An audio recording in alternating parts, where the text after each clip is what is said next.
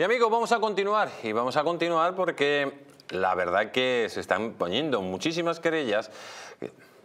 No tenemos tiempo para hablar de todas las noticias que están produciendo, pero hoy sí queríamos hacer hincapié en esa querella que ha puesto vos, que esa querella contra Conde Pumpido y el Tribunal Constitucional por prevaricación en el caso de los ERE. El caso de los ERE, amigos, que hay que decir que, que no es que les hayan quitado todos los delitos. Es verdad que los han rebajado de forma fraudulenta para que no vayan a la cárcel. Pero en ningún momento el Tribunal Constitucional ha dicho que no existiera una trama ni que, de que esta gente no robara los 600 millones de euros. Pero es importante que se pongan querellas para parar los pies ya Conde Pumpido, que lo que está haciendo, amigos, Conde Pumpido es un atentado al Estado de Derecho, a la democracia, al sentido común y a las leyes. Tenemos al otro lado de Sky señor Muro. Buenas noches, ¿cómo está usted? Pues lógicamente de Zapatero tiramos eh, y nos vamos directamente a la querella de Vox contra el Tribunal Constitucional.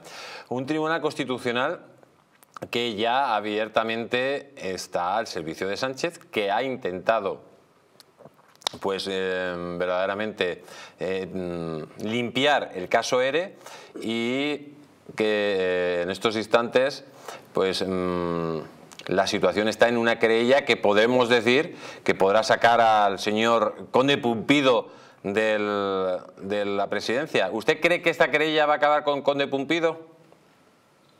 hombre, es muy difícil. Yo creo que, Jesús, la, querella es muy importante. Es decir, Vox está, hay que reconocérselo, es decir, Vox es el único partido que está utilizando, por utilizar un símil bélico, fuego real. El Partido Popular no deja de utilizar fuego de artificio. Seguimos esperando que llame a Pedro Sánchez a la Comisión del Senado. Vox ha sido el que obligó prácticamente o solicitó la presencia de Pedro Sánchez ante el, ante el juez Peinado. Vox ha presentado una querella de prevaricación contra Pedro Sánchez y Begoña Gómez. Recordamos que se hizo lo que se hizo con la ley eh, de la sentencia del Supremo, que luego acaba con el tema de la amnistía, gracias al trabajo jurídico de Vox. Y yo creo que Vox ha dado un paso importantísimo llevando a la sala penal del Tribunal Supremo eh, una querella por prevaricación de los miembros del Tribunal Supremo, porque eh, piensa lo mismo que pensamos todos los españoles. Es decir, que se tenían que haber abstenido y tenían que haber manifestado una incompatibilidad con el hecho de ser prácticamente todos miembros o estar muy relacionados con el PSOE.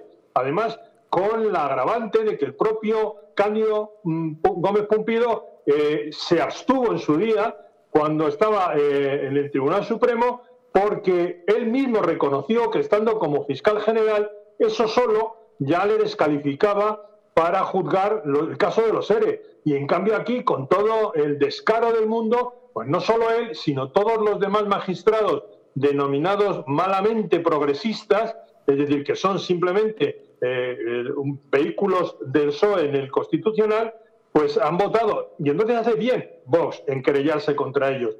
¿Va a salir adelante? No lo sé. Desde luego la sala de lo penal del Tribunal Supremo creo que debería pronunciarse seriamente sobre el hecho de que le estén arrebatando, y este es otro de los argumentos que utiliza Vox, las competencias a esa propia sala de lo penal. Así que ahí se puede abrir un interesante conflicto que ha estado esperando el Supremo, supongo, que alguien lo moviera para que no pareciera que era la propia sala del Supremo la que quería entrar en guerra. Ahora tiene la ocasión de pronunciarse. Esto por un lado, yo creo que está claro, utiliza además los argumentos de los votos particulares en el sentido de que quiere descapitalizar la justicia asumiendo las funciones del Tribunal Supremo, reconoce que se tenían que haber abstenido eh, por su relación directa con el PSOE, porque prácticamente todos son puestos por el PSOE, y la ley del Tribunal Constitucional dice claramente que tiene que partir de la imparcialidad del Tribunal Constitucional, cosa que es evidente que si es parcial, porque todos pertenecen al mismo partido, no puede ser neutral,